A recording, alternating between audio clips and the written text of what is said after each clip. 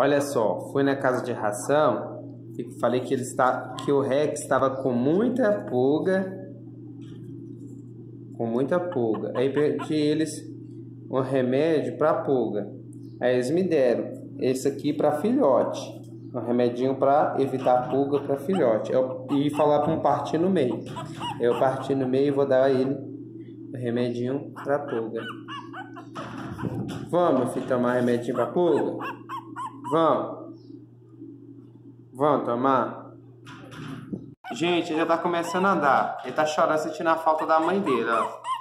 Tá procurando a mãe dele. Eu vou dar o remedinho pra ele. Gente, eu vou dar remédio assim pra ele, ó.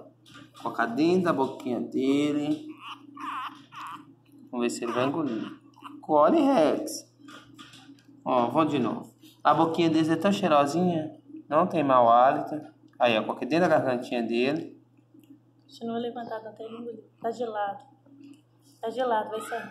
Vai sair. Vou pôr de novo. Ele tem que engolir, gente. Engole, bebê. Tá mastigando. Gacinha.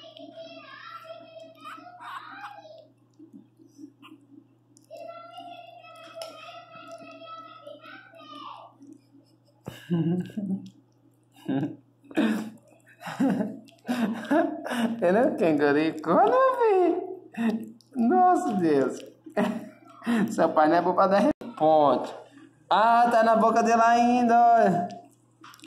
Agora. Não, mãe. Olha, tá gostando, né? Ô, meu filho. Gole, bebê. Ah, deixa eu. Zgadza.